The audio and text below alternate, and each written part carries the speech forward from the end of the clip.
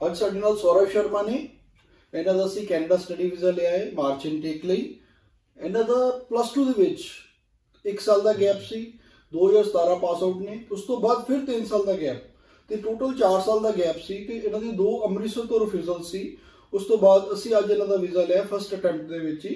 ਤੇ ਮੈਂ ਇਹਨਾਂ ਨੂੰ ਪੁੱਛਣਾ ਚਾਹਨਾ ਸੌਰਵ ਜੀ ਨੂੰ ਕਿ ਤੁਹਾਨੂੰ ਬੈਲਸ ਓਵਰਸੀਜ਼ ਦੀਆਂ ਸਰਵਿਸਿਜ਼ ਕਿੱਦਾਂ ਲੱਗੀਆਂ ਮੈਨੂੰ ਬੈਲਸ ਓਵਰਸੀਜ਼ ਦੀ ਸਰਵਿਸਿਜ਼ ਬਹੁਤ ਅੱਛੀ ਲੱਗੀਆਂ ਮੈਂ ਬਹੁਤ ਖੁਸ਼ ਹਾਂ ਕਿਉਂਕਿ ਇਸ ਤੋਂ ਪਹਿਲਾਂ ਮੇਰੇ ਮੈਂ ਆਪਣੇ ਅੰਮ੍ਰਿਤਸਰ ਤੋਂ ਬਿਲੋਂਗ ਕਰਦਾ ਮੈਂ ਉੱਥੋਂ ਦੋ ਟਾਈਮ ਆਪਣੇ ਅਪਲਾਈ ਕੀਤਾ ਬਟ ਉਹਨਾਂ ਨੇ ਮੈਨੂੰ ਵੀਜ਼ਾ ਨਹੀਂ ਦਵਾਇਆ, ਇਸ ਕਰਕੇ ਉਸ ਤੋਂ ਬਾਅਦ ਫਿਰ ਮੇਰੇ ਪਾਪਾ ਦੇ ਫਰੈਂਡ ਨੇ ਮੈਨੂੰ ਇਹਨਾਂ ਦੇ, ਇਹਨਾਂ ਕੋਲ ਭੇਜਿਆ, ਉਹਨਾਂ ਨੇ ਰਿਕਮੈਂਡ ਕੀਤਾ ਤੇ ਇਸ ਵਾਰ ਮੇਰਾ ਫਸਟ ਅਟੈਂਪਟ 'ਚ ਵੀਜ਼ਾ ਲੱਗਾ। ਮੈਂ ਬਹੁਤ ਬਹੁਤ ਥੈਂਕ ਯੂ ਕਰਦਾ ਉਹਨਾਂ ਦੀ ਟੀਮ ਦਾ ਸਪੈਸ਼ਲੀ ਕਪਿਲ ਸਰ ਦਾ।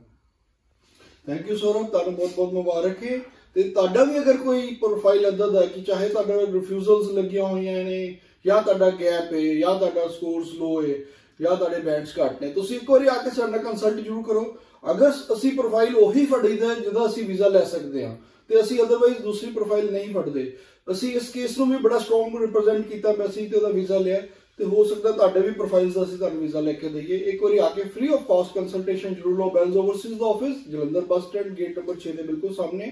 ਤੇ ਤੁਸੀਂ ਆ ਕੇ ਆਪਣਾ ਕੇਸ ਕੰਸਲਟ ਕਰ ਸਕਦੇ ਹੋ। ਥੈਂਕ ਯੂ ਧੰਨਵਾਦ।